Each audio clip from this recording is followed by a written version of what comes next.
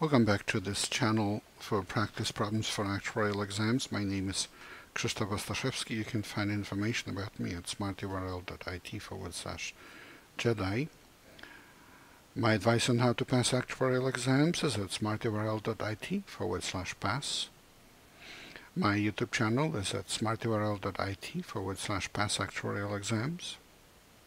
My DTube channel is at smarturl.it forward slash the Saint Country Club.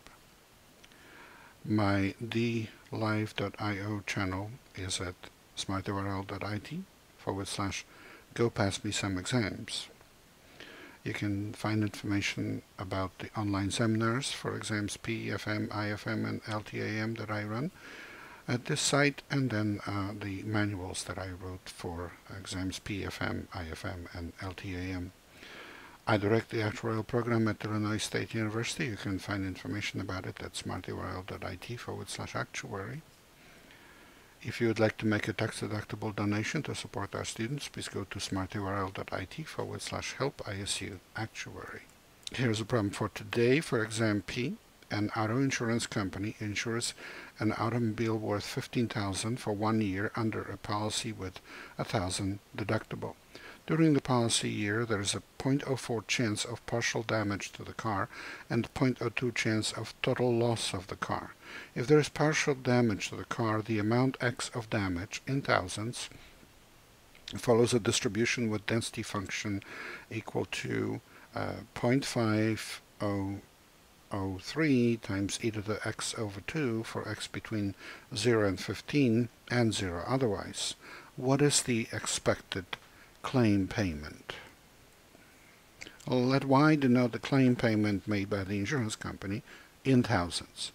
As the policy has a deductible of 1,000, the claim payment is 0 when there's no damage, and then happens with probability 0.94, which is 1 minus 0.04 minus 0.02. And then it's the maximum of 0 and x minus 1 when x is between 0 and 15,000 with probability 0.04 and 14 in the case of total loss with probability 0.02. Not 15. The loss is 15,000, but the payment is 14 because there's a deductible of 1, 1,000. And based on this, the expected value of this random variable is calculated as follows. So the expected value is 0.94 times 0, probability of having 0, claim payment times 0.94, which is the 0 is the amount and 0.94 is the probability, plus 0.04 times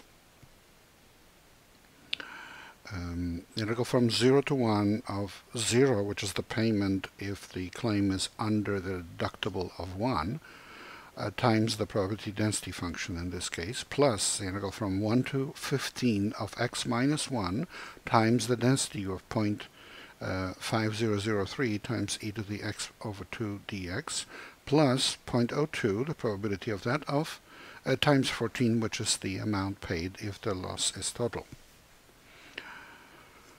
And uh, then we, uh, if we multiply, so all the terms with zero, the first two terms really disappear, and we look only at uh, the um, integrals that we um, have uh, as a result.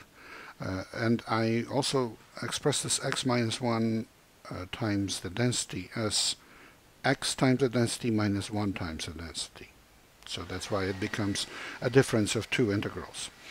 Um, and 0.04 times 0.5003, um, if we multiply it out, it becomes 0.020012. So that's multiplied by integral from 1 to 15 of x e to the x over 2 dx minus the integral from 1 to 15 of e to the minus x over 2 dx. And 0.28 is 0.02 times 14. The first of the two integrals, it's a little bit more complicated. We need to do integration by parts in it, so we do that. We take one function u to be x and then du is dx. And then the other function v has to be such that dv is equal to what we see there multiplied by x which is e to the minus x over 2 dx.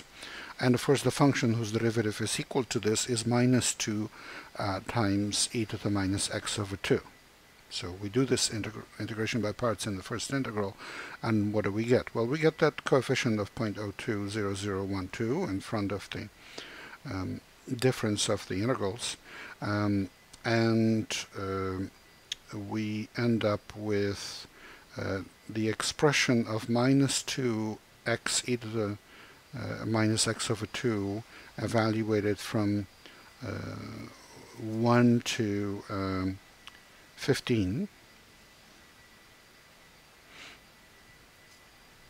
which is just uh, u times v. Um, minus minus, so plus, uh, two integrals from 1 to 15 of e to the minus x over 2 dx, and then the last piece from the previous expression, the second integral and parentheses, is integral from 1 to 15 of e to the minus x over 2 dx. Um, but of course, if you subtract two integrals, or if you subtract one integral from two integrals, you just get one integral.